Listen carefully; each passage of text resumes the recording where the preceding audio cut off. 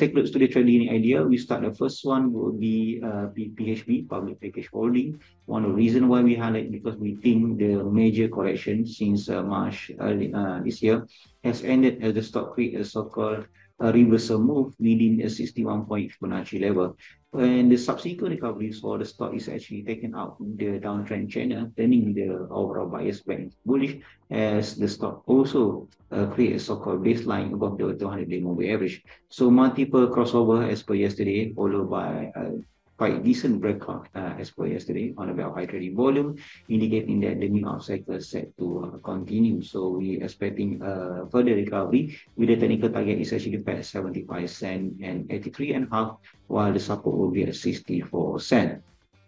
Um, then we have Redtone. Redtone is actually our earlier buy on 12 May, uh, gaining about 39.7% um, so to peak at uh, 75 and a half cents. So, so the subsequent uh, what we call that consolidation right within this uh, you can call it is either flat pattern but i think because the distance or the, the time it takes beyond to to a month so we can consider this the downtrend channel.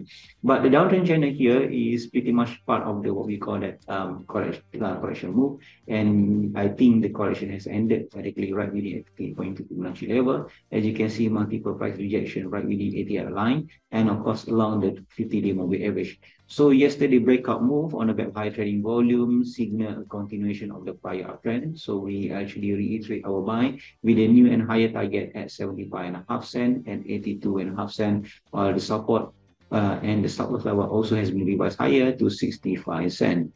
And then last but not least will be uh, just a resource. So one of the reasons why we highlight because the recent decline uh, could be at the tail end. One, because the stock has taken out the downtrend line on a back of higher trading volume. Despite still trading below 200 day moving average, we still uh, we do think that the stock has a decent chance uh, goes beyond this level, particularly when you see a stronger baseline was formed for the past few months. So the, the we put our technical target at 24 cent with the cut loss at 18, 18 and a half cent, and the next target should be at 28 cent.